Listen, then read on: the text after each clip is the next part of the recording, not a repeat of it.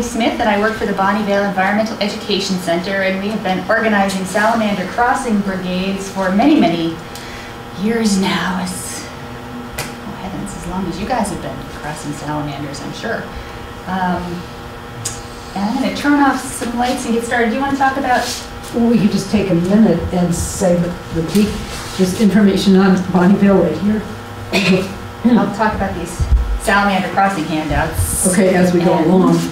But every single thing we do these days, we, if you see this bug in your woods, not this big, it's not this big.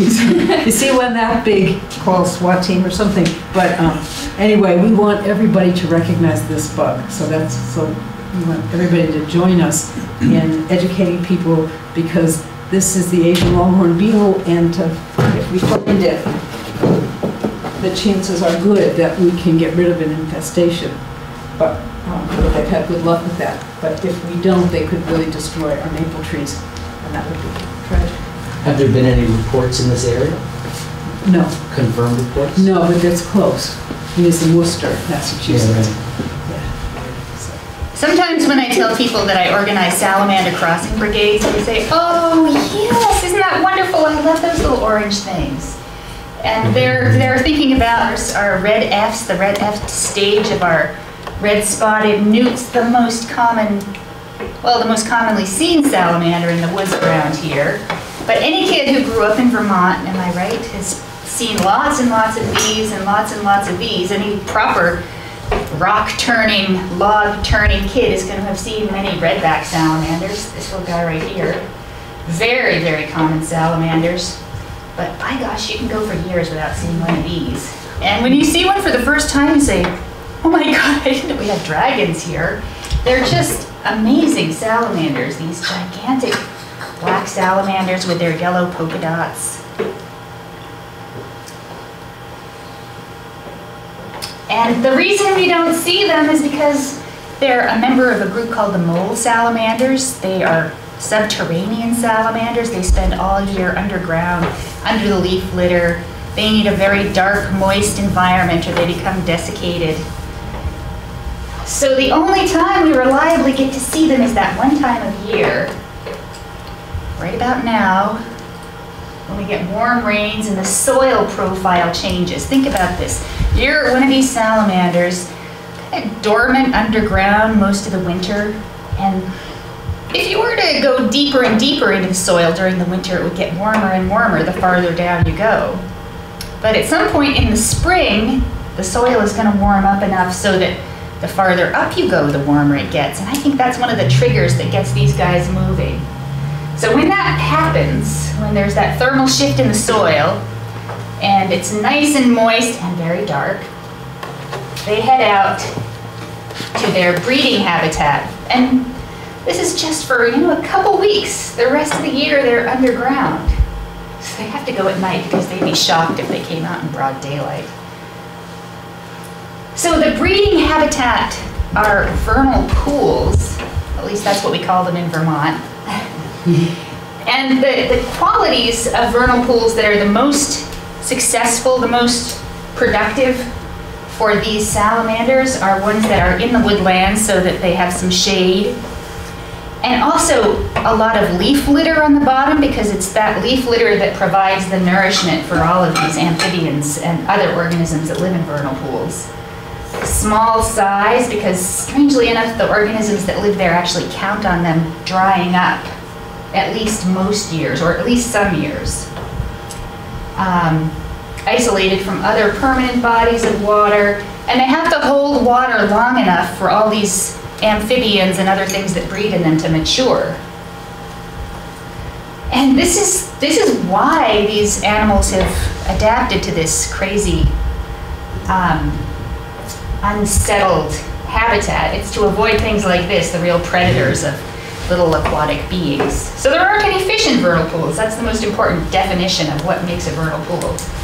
Um, no bullfrogs. Bullfrog tadpoles actually have to spend a whole winter in the pond, so any body of water that dries up periodically is not going to have a resident population of bullfrogs, although, oh, a, a good industrious bullfrog is going to find its way to a vernal pool in the spring and have a little feast of salamander larvae, but there aren't going to be anywhere near as many of them. So these vernal pools provide really essential habitat for a whole suite of creatures that have evolved to take advantage of this, this seasonal drying phenomenon. Including these little guys here. If you go to a vernal pool in the middle of the summer and it's dry, and you say, hmm, this looks like it could be a vernal pool, dig around in the leaf litter and you're gonna find these teeny tiny clams, little white clams that are smaller than your pinky fingernail. And that's a, that's a giveaway. They live just in vernal pools. If you go there right now, you might see some of these guys, fairy shrimp. They're about an inch long and live in these vernal pools. And in order to complete their life cycle, their eggs actually have to freeze at some point and dry up at some point. And they remained viable for many years, at least 15. But these guys, these guys are why we organize salamander crossing brigades. The spotted salamanders. And you're, you're really not going to mistake them for anything else. But uh, these are the field markings, gray to black in color, six to nine inches long, these very handsome yellow polka dots. And they have a broad snout.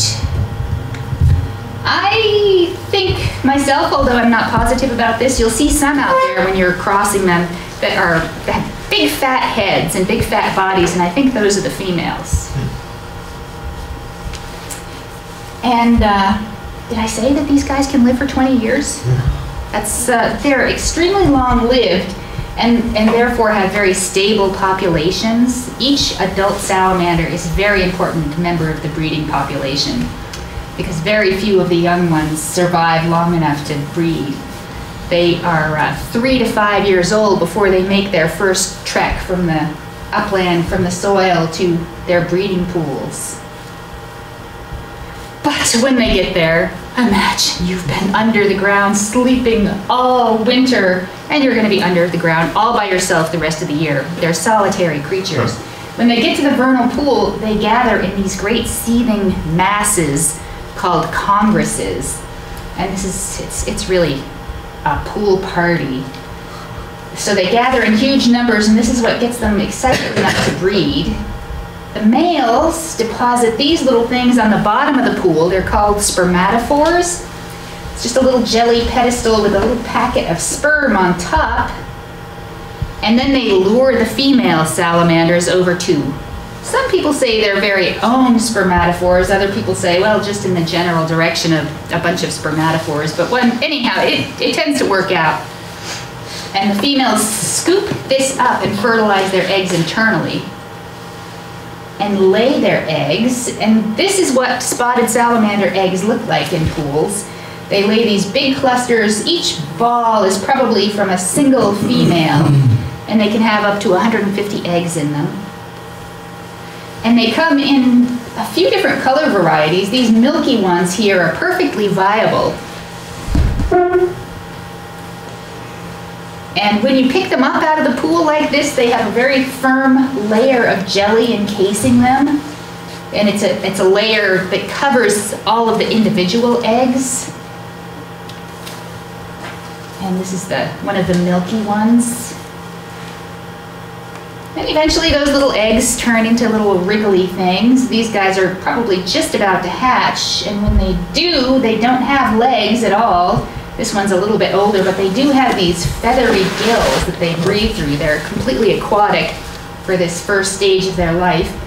And this one is, of course, standing on a fingernail clam. And they will eventually turn into these little tiny, tiny versions of the terrestrial salamanders. I took some of these egg masses inside to hatch them out, and these little guys did not turn into miniature salamanders until sometime in October. So this is another little um, point of interest with this vernal pool life is that everything is very temperature dependent. And I think the water in vernal pools must get really warm, especially right before it evaporates completely. And that temperature really speeds up the development of these little guys. So we have, oh gosh, how to characterize them we really have two mole salamanders you're going to see reliably around here. We have the spotted salamander and we have the Jefferson salamander and the Jefferson complex hybrids because there are sort of three kinds of mole salamanders around here. Very occasionally you'll see a pure blue spotted salamander and we'll get to them next. But the blue spotted and Jeffersons have been hybridizing for years and they've got this very, very, very complicated genetic arrangement. These, most of the Jeffersons you see now are really hybrids, Jefferson complex hybrids, and they may have um, three, four, five, six sets of chromosomes instead of the usual two of most animals. Anyway, these guys are a bit smaller than the spotted salamanders, and they're much, much more slender, brown to gray in color, and this light blue flecking on their bellies and toes, up to seven inches long. The head is widest behind the eyes there, and the tail is laterally compressed like a rudder, which is not the case. Let's see how far we have to go back to show you a big spotted. All right, we'll remember to show you one up ahead.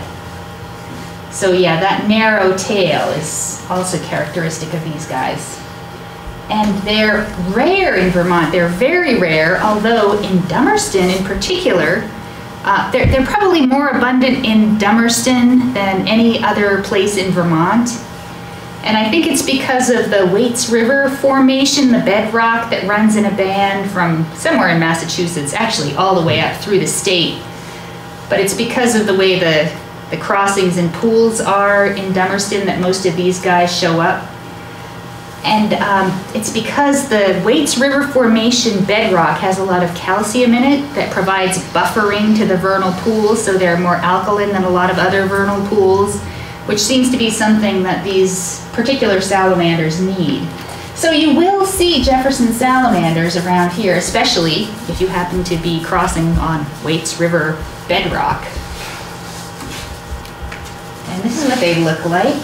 Very handsome salamanders. If you see one of these guys, especially if you're at a new site, take a picture. Um, the state really loves to get pictures of Jefferson salamanders. And if you if you're out crossing salamanders and see anything that you can't identify or you think is unusual, take a picture.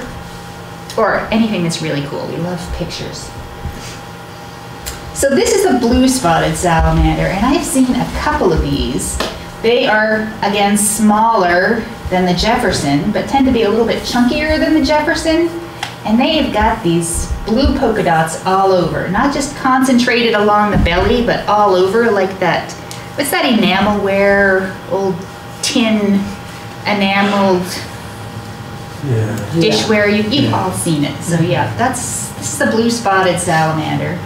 And this is a juvenile that I found actually actually on Miller Road in Dummerston, right where the wetland has been drained. So there may no longer be breeding habitat for this blue spotted salamander. Don't ask me how that happens. Another I have baby blue spotted salamander. Now this is in here to confuse you.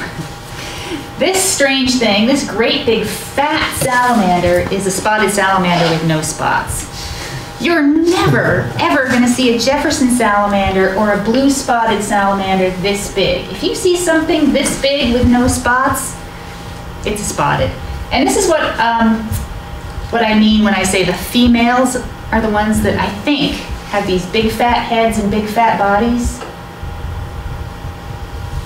Um, Jim Andrews is the state herpetologist. He's coming down to do a program on uh, reptiles and amphibians to look out for in your towns. You can ask him if the, the females are fatter, he would know. This is that same salamander. Just got some strange pigment things going on. So the eggs of the Jefferson and blue-spotted complex salamanders have this are in a very liquidy sausage-shaped egg mass, and you can't really tell when they're in the water. You have to pick them up, and, and you'll see that it's like jello that hasn't set. And they typically have something like 30 eggs in an egg mass. Very sausage shaped and again attached to sticks. And here they are developing away.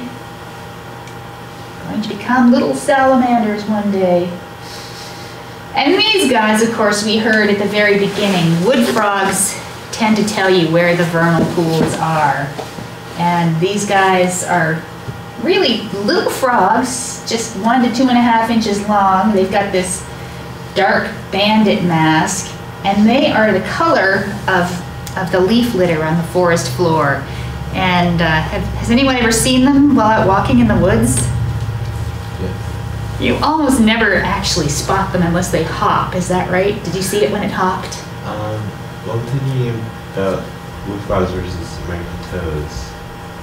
Yeah, they're both Right. they're they're both very terrestrial and they're both colored the same way, but if you see one of these in the woods and you see it hop, that's how you know where it went, and then it's very easy to just lose them in the leaf litter again.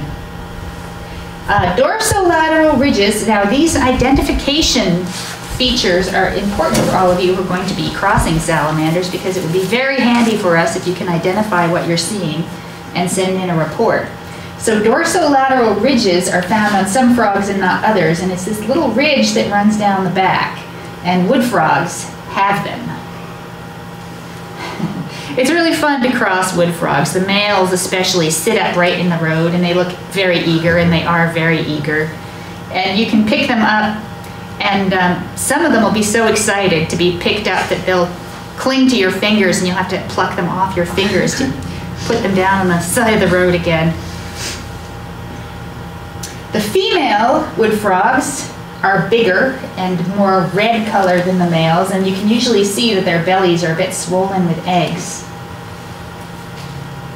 And uh, that's the big female on the bottom, and they mate by having the male grab the female, and sometimes you'll see piles of males on one female. Oh my gosh, it's quite a scene. It's quite a scene.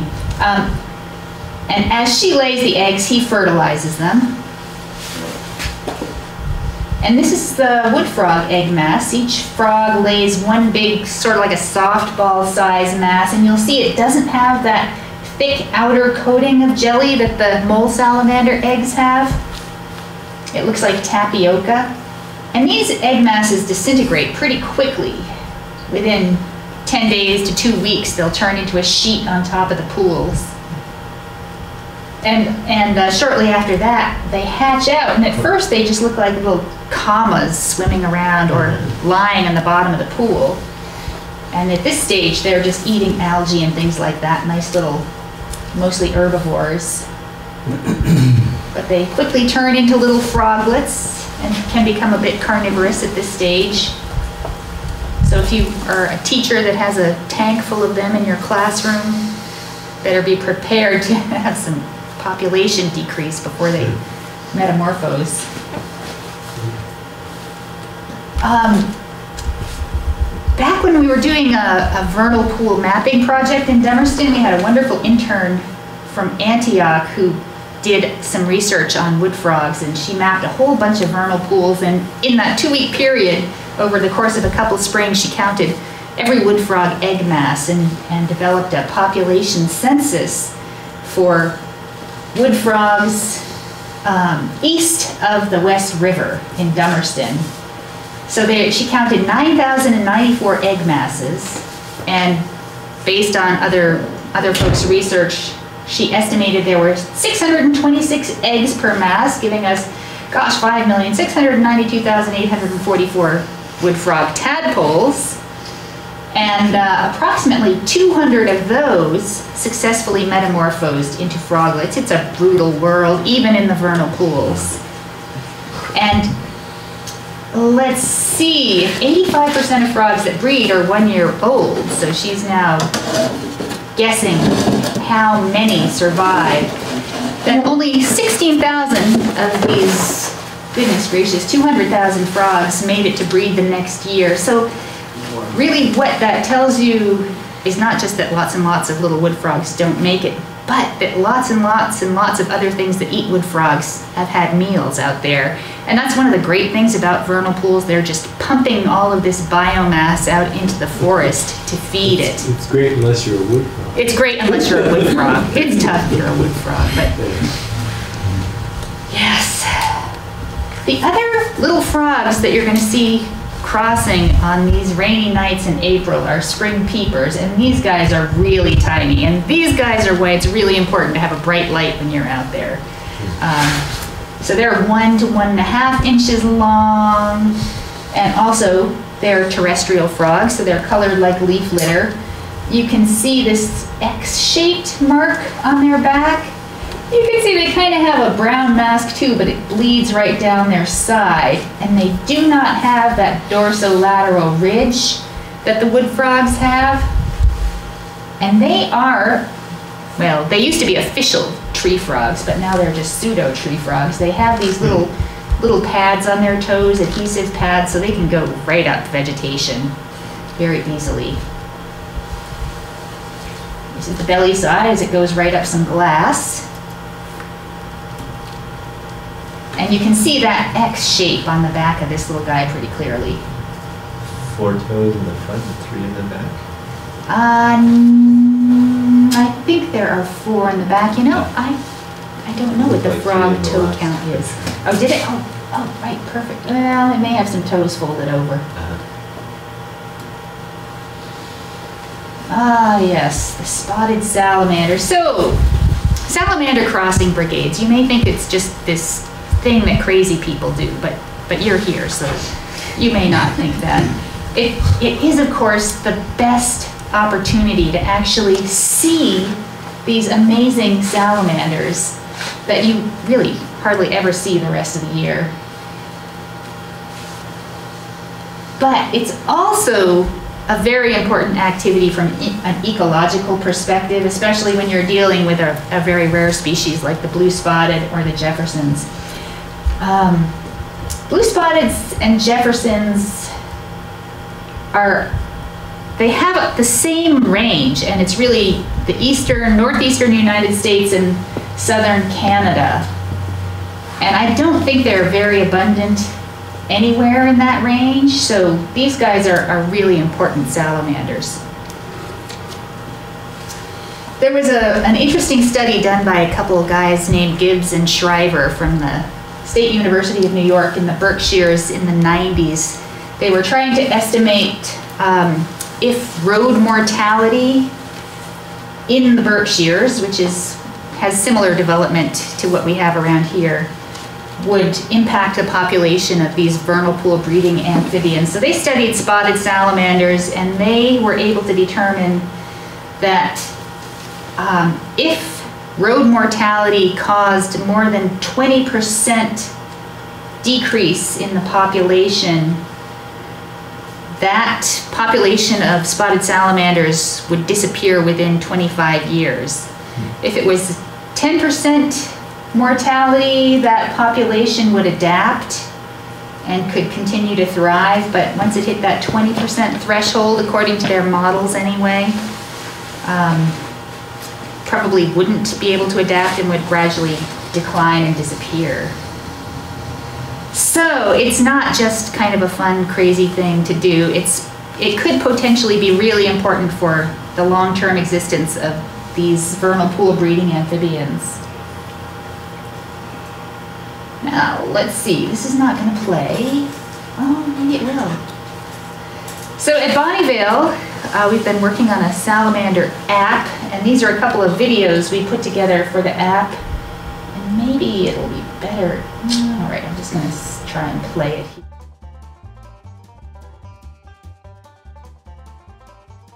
Each spring, spotted salamanders, wood frogs, and other amphibians migrate to their breeding habitat.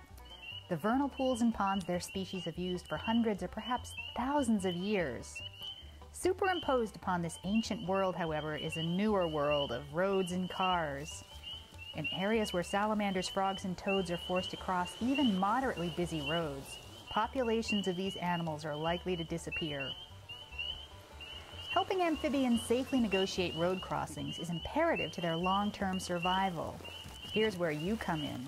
Become a salamander crossing guard. Helping salamanders is fun, but it's also important. It happens on rainy nights in late March and throughout the month of April when temperatures are above 40 degrees Fahrenheit. Salamanders wait until it's quite dark to move. Frogs may begin at dusk. Conditions can be difficult to predict. Sometimes it rains in the early afternoon but stays warm and humid throughout the evening. Or it's raining but cold. Sign up for BEEC's Salamander Hotline and we'll send you email alerts with our best predictions of when to go out. You will need these things. Rain gear, at least some part of which should be light colored, a reflective vest, and other reflective materials such as a reflective armband or just reflective tape stuck to your clothing, a flashing clip on light, a bright flashlight with fresh batteries. Bright lights can vastly increase your efficiency at finding and moving salamanders. Some volunteers have learned the hard way that an ordinary flashlight, especially one with waning batteries, might not reveal amphibians until you're upon them. If, on the other hand, you have a bright enough light, you can clearly see all amphibian movement over a large swath of road and can move quickly and confidently. Don't wait for the rain to start. Make sure you have a bright light and enough bulbs and batteries to keep it bright. You won't be sorry, and the salamanders will thank you. An example of a good flashlight is a lantern like this that uses a 6 volt lantern battery. Your typical 2D cell flashlight is probably adequate as long as it has fresh alkaline batteries. These small LED lights can be bright, but you'll find that the light isn't penetrating enough to help you see amphibians on the road. Headlamps are helpful, but you'll need a flashlight too. Make sure your hands are clean with no lotion or hand sanitizer. Salamanders readily absorb chemicals through their skin. The following items are also recommended. Salamander crossing signs help alert motorists to your activities. A spatula can be helpful for removing dead amphibians from the road so you don't count them twice while you're collecting data.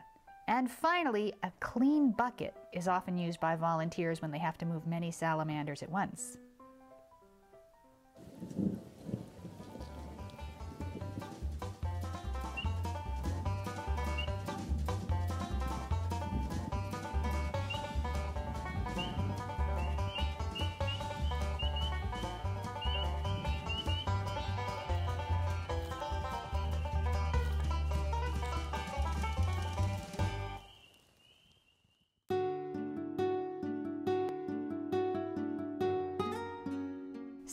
Received the alert, you know where you're going, you have your supplies, the night has come. Salamanders usually don't begin their trek until it is dark. Frogs may begin at dusk. Because few of them live right next to the road, it may take some time for them to arrive at the crossing zone.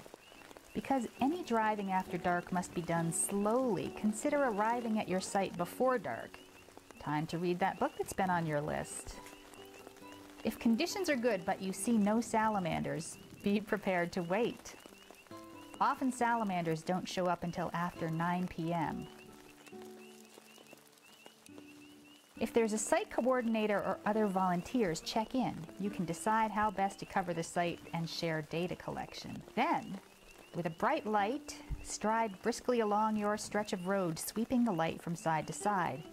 Always check the area by your feet when changing direction or resuming activity. It may take a number of passes to identify the crossing zone. Most crossing hotspots are about two tenths of a mile in length, though more diffuse movement happens over longer stretches of road. When you find an amphibian, pick it up gently and move it across the road in the direction it was heading. If you're not sure, move it in the direction most of the other amphibians have been moving in. Keep your feet on the street. Since salamanders are very difficult to see once they're off the road, don't step off the road unless a car is passing. While getting salamanders safely across the road is our priority, keeping track of the numbers of amphibians and species observed will help us monitor population trends and organize crossing brigades more effectively. Fill out the data form and submit it. Cars pose hazards to humans as well as amphibians. Crossing guards assist salamanders on rainy and sometimes foggy nights with the goal of keeping cars from hitting amphibians, a potentially dangerous mix. Please protect yourselves, motorists, and the amphibian crossing program by being prepared with safety gear in advance of migration nights. Traffic usually stops by 10:30 on weeknights or by 11:30 on Friday and Saturday, depending on your site. Your own schedule dictates what time you head home. Most crossing guards leave when the traffic slows. Check under your car for amphibians before you drive away and remember to drive slowly on your way home.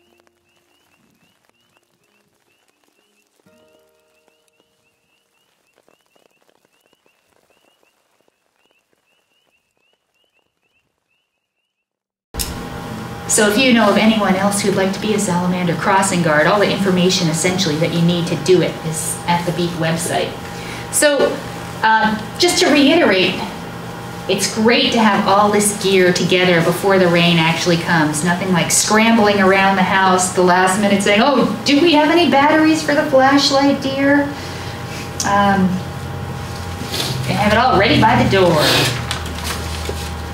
Again, the conditions for migration, it should be rainy or very wet because again, these salamanders and amphibians will desiccate very quickly if it's not wet, so it needs to be quite wet.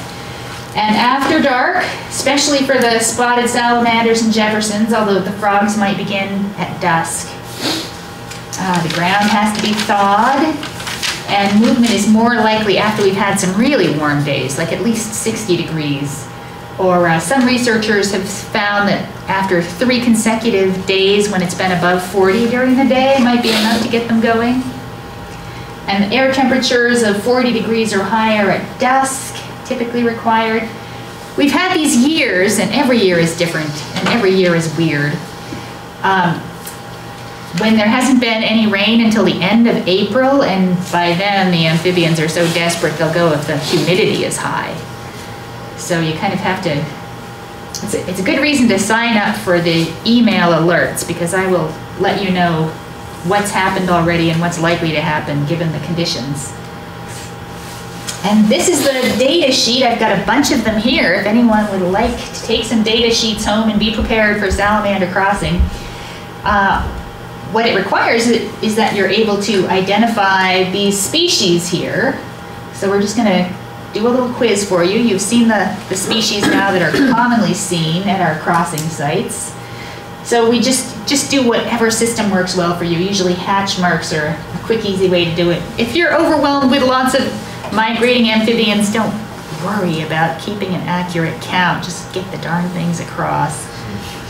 Um, you also might see these guys, the eastern redback salamanders we were talking about earlier, and they are really tiny and they're really, really, really hard to pick up. It's handy to have that spatula or a piece of paper or something. You can see how tiny their legs are, and to get underneath a, a wriggly little salamander, especially on asphalt, oh, yeah, crazy. That's And- what I've heard. That you're not supposed to touch them or something. Only if you've got chemicals on your skin. We do, it's, your hands are gonna be wet while you're out there in the rain, and they should be wet and they shouldn't have any chemicals on them, but um, if that's the case, then you're okay picking them up. If you can. Um, the belly on these guys, and this, you'll see why this is important in a minute, is uh, salt and pepper speckled like granite. And, and these are just very petite little salamanders. The eastern newt has got this kind of granular skin, and it's the only bright orange thing you're going to see out there. And this is the the immature terrestrial phase of the of the newt that you see the green salamander swimming in all the ponds around here. And they're not migrating to breeding habitat. They can spend many years, five to seven years on land and in this phase before they become fully aquatic for the rest of their lives. What if you see them crossing the road? Yeah, if you see them crossing the road, get them out of the road. Jeez, guys, get out of the road. Um, and in whichever direction it seems they're moving in. The American toad should be pretty obvious. It's that squat, lumpy thing with the short legs and these big parotid glands behind the eyes. And I'm giving you all these other details because if you live in Vernon, there's a small, small chance that you might see the other extremely rare toad that can be found in Vermont. So the American toad has got these rows of dark black spots down its back, and in each of those spots you'll see one or two largish warts. And on the belly, there are these black spots. If you see a Fowler's toad, which is the other unusual toad, on the dark spots down its back, there are multiple small warts. See five or six, three little warts. And the belly is pure white with maybe one dark spot on the chest. So if you see a toad that looks like that, check its belly and take a picture. Why, why are they so rare? They're a southern toad. This is the northern extent of their range. Just a habitat. Yeah. I, I used to yeah. live in Maryland and they were really common. Yeah, Fowler's. Yeah, we would see uh, hundreds of migrating juveniles. They're about that long. in Nice. July. And did you hear them too? They have this kind of weird, obnoxious. Can you imitate it? no.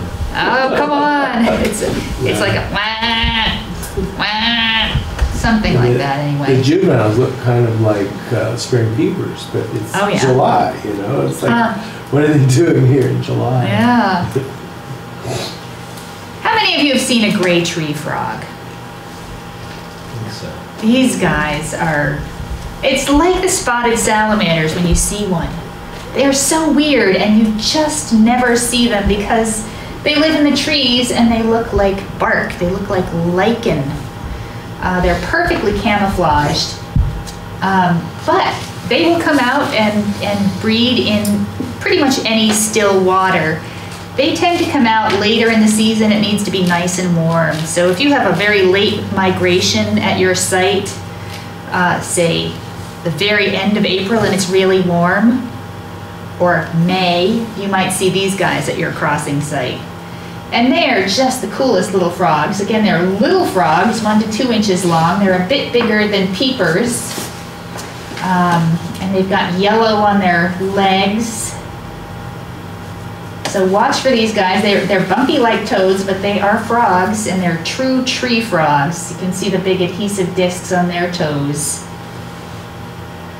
You're gonna see these guys out hopping around too, but they're, again, they're not moving to breeding habitat. They're, they're really aquatic frogs. They're affiliated with some body of water somewhere, and they've got that dorsolateral ridge and a bright green upper lip, but they come in all kinds of variations of color aside from that. They could be bright green all over.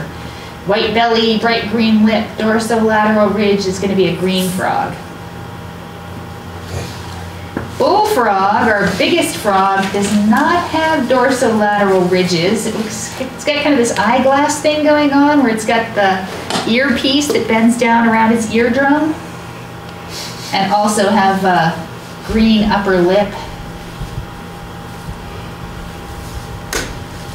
At my site in Marlboro, strangely enough, I have seen more pickerel frogs than anything else. Pickerel frogs are grassland frogs and they have these nice, handsome, rectangular, dark splotches down their back and these banded legs, and their bellies will be bright yellow, and the inside of their legs. So they're not moving to breeding habitat either, but you might see them.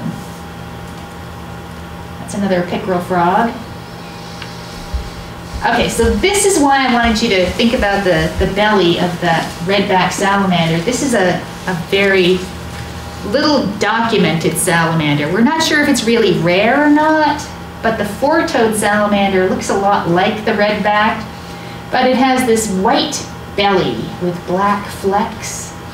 And uh, we would just love to have this salamander documented in Windham County. So Sorry, it, it looks like what? Which salamander? it looks like the redback, that little one that's really hard to pick up. So about the same size. then. Yeah, yep. And this is the belly. Um, marbled salamander is another salamander that has not yet been documented in Vermont, but it's been documented just south of us. And this is another mole salamander. It's shorter than the spotted. It's just a four inch long salamander, but it's nice and fat and chunky. And they go to vernal pools in the fall and lay their eggs there. And then when the water fills the pool in the spring, the eggs become viable. So look for that guy. I think it's actually found in New Hampshire across from us. So it ought to be here. If you see anything that looks like that, take a picture. Did you did you say they breed in the fall? Yeah, they lay their eggs in vernal pools in the fall, even if the pools are dry. They know where to go and So that will be one that we look for now. Well, you know, it might just be out wandering around. Ah, So, yeah, keep an eye out. So here's your, your quiz. We have two frogs here, this one and this one, they're different. Which one is this one? Go ahead, say it. green frog. Yes. yes, green frog has got that dorsolateral ridge, and the bullfrog has got the eyeglass thing. And that just shows you some color variations with those frogs. Who's this? Heft. And, uh, Yes, yes. And this they- guy, They have uh, dry, scaly skin, right? the efts, yeah, yeah. And this guy, you can't see the belly, Red but back. yeah, that's a red back. Marble. Yes. This one's tricky. Wood. Yeah, that's a wood Wood frog. frog, no It's got the mask, and you can just see those dorsolateral ridges, and you can tell that it's really, really eager to get to a vernal pool. oh, let's see who's in this picture. Ooh. Spotted. Tigers and stuff. Is there three? There are three spotted salamanders and one Jefferson. But it kind of gives you the idea of how hard they can be to see on wet leaf litter, especially. Hmm. American. Oh, jeez, it's labeled at the bottom. That's cheating. But yeah, that's an American toad. It's got those big warts in the black spots. Wood. What? Wood frogs, yeah, Wood frog. wood frogs. Yes, Jefferson. Oh, beautiful spotted salamanders. So, I'm really hoping that you'll all go out there and help them cross. It'll be very thrilling. You'll get to see these amazing amphibians. I'm Just gonna take you to the Bonnyvale website so you know what's there. It's beec.org. We love to post your pictures on our website. Here are those two videos um, and some basic instructions. If you want to choose a site, you can open up the, our Google map and uh, zoom in, figure out where you are, and let's see. And where the nearest sites are to you, they're color coded and various other kinds of codings. Um, near the school on Gregg Road, you can download a paper map. So that's on the website. Oops. Um, you can submit your data electronically by clicking there. Other guidelines here, hot tips for crossing guards, things to bring. Um, you can download ID sheets, but since you're here, I have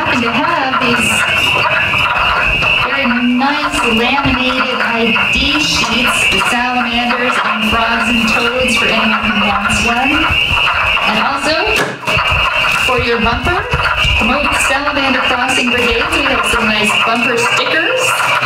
Help yourself to those and help yourself to data sheets. And um,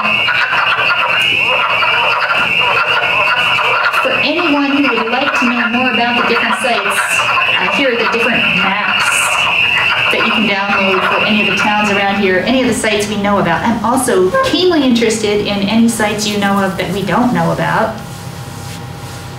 Um, so I will wrap it up right there, and I'm happy to talk to anyone about the best site to go to near you or anything else.